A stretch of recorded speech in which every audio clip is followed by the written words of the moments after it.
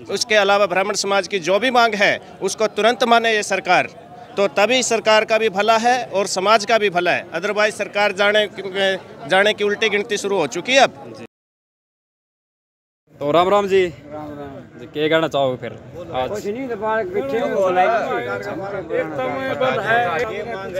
तो क्या मांग लेकर आए थे आज। यो आरक्षण मिलना चाहिए दस परसेंट। पहले बच्चा ने इसका अच्छा। उसमें नौकरी मिल जाती थी। हम्म। हैं अब ये कहाँ से आए हो आप? कम से कम निडाना गाँव से निड्याना हाँ ये आठ साल से अब ये बंद है।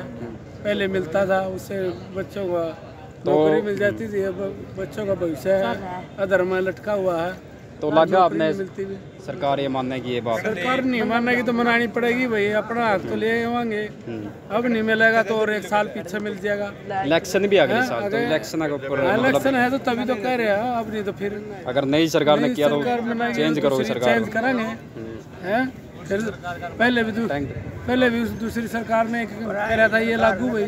इनने बंद कर दिया इनकी सरकार आते बंद कर दिया था। अब आगे अब आगे आने वाले चुनाव में आगे पता चलेगा। अगर नहीं मानने तो हम इलेक्शन की तरफ़ देख रहे हैं। हाँ। और कुछ कहोगे आप? है।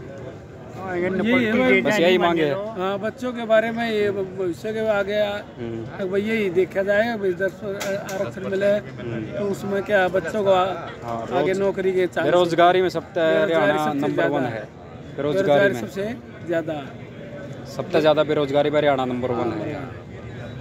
तो चाहोगे आप अपना जो समाज है इसकी नौकरी मिलनी हाँ चाहिए तो नौकरी वो भी आने वाले बच्चों के लिए नौकरी तो बेरोजगारी इतनी है कि बहुत ज़्यादा तो नौकरी नहीं होगी तो बच्चे नौकरी नहीं होगी तो जाएँगे?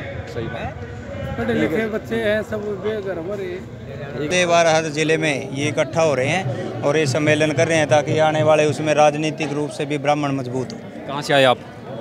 डिस्ट्रिक्ट जींद है जी अपना। हाँ तो कितने लोगों के यहाँ पर पहुँचने की संख्या अनुमान है? यहाँ करीब करीब पंद्रह से बीस हज़ार लोग पहुँचेंगे। धन्यवाद जी। और आपका?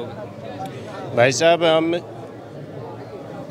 हमें मुख्य मुद्दा इस सरकार से ये है कि जो ब्राह्मणों के बच्चे ईबीपीजी के माध्यम से सिलेक्ट हुए हैं कम से कम नई नौकरियों की तो टाइम लगता है। सिलेक्ट हुए भी बच्चे एक साल से भटक रहे हैं बिल धक्के खा रहे सड़कों पे और सरकार सुनवाई नहीं कर रही। इस सरकार का जो बेस है वो ब्राह्मण वर्ग उससे काफ़ी नाराज़ चल रहे हैं सरकार से।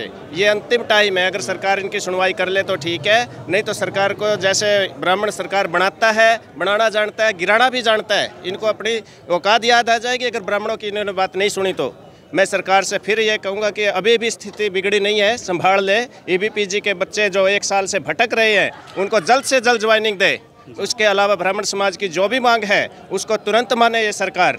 तो तभी सरकार का भी भला है और समाज का भी भला है। अदरवाइज़ सरकार जाने जाने की उल्टी गिनती शुरू हो चुकी है अब।